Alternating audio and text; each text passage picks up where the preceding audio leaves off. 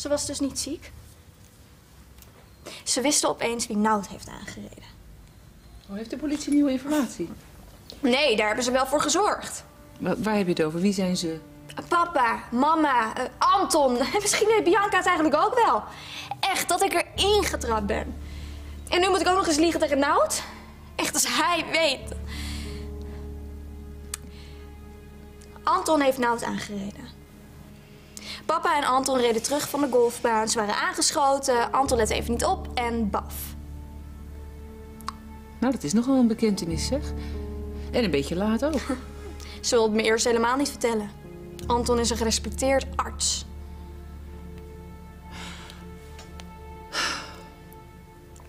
Wat is er? Niks, laat maar. Maar je moet nou wel beslissen wat je dus gaat doen met deze informatie. Waar dacht je aan? Ehm, niks. Zo moet ik helemaal niet denken. Ja, als jij ook nog eens dingen voor me achter gaat houden, dan word ik echt gek. Ik dacht opeens... Anton zat met Ludo in de auto. En Ludo had nogal moeite met Nout. Ja, dus? Jij denkt dat papa reed.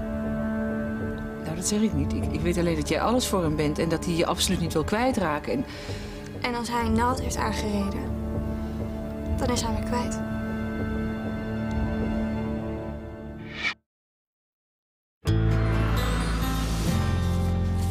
Weet mama ervan? Dat je Nout hebt aangereden? Waar heb jij het over? Weet mama ervan? Ik wil weten van wie je dit hebt gehoord. Van Lucas? En van wie heeft hij het? Wat maakt dit uit? Heb je het gedaan? Van wie?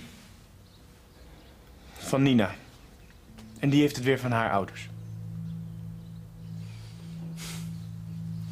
Ja, het klopt dat ik gelogen heb over het ongeluk. Maar ik zat niet achter het stuur, maar Ludo. Oh, ja. Hé, hey, als jij je conclusies al getrokken hebt... hebben wij niks meer te bespreken. Nee, nee, dat kan niet, dat is belachelijk. hij heeft gelijk. Maar goed, je moet wel beslissen wat je moet doen. Ja, ik weet waar jij mee bezig bent. Jij gaat hier nu niet op door, omdat je weet dat ik dat zelf wel doe. Nina, hou op. Ja, je haat papa. En dit is weer een manier om hem dwars te zitten. Als ik dat al zou willen, dan zou ik dat zeker niet doen via jou. Nina, waarom reageer je nou zo fel? Dat doe ik helemaal niet. Als hij Nout heeft aangereden, dan is hij mijn vader toch niet meer? Hoe kan ik hem dat ooit vergeven?